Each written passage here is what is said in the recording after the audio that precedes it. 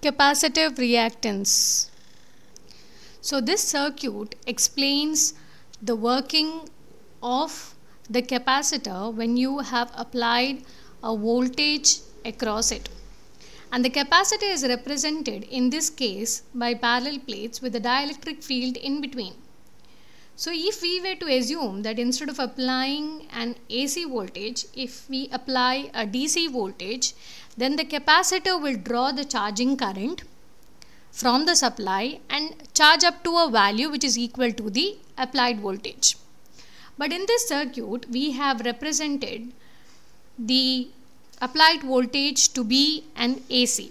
And as we know that this AC voltage will continuously change from positive to negative polarity which is determined by the rate of frequency which is applied to the circuit.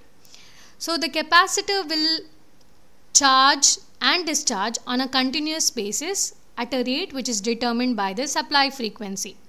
So as the capacitor charges or discharges, a current will flow through it and this current will be restricted by the internal impedance of the capacitor which is commonly known as the capacitive reactance represented as Xc and measured in terms of ohms.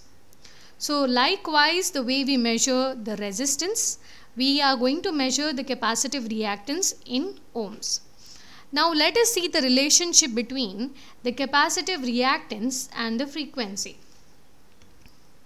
So if you look at the equation, the equation says that the capaci capacitive reactance is equal to 1 by 2 pi Fc. So from this particular graph, that is a graph of reactance versus frequency, it is evident that as the frequency is very low, the capacitive reactance is high and as the frequency increases, the capacitive reactance becomes low. That is because the relationship is inversely proportional. So Xc is inversely proportional to F.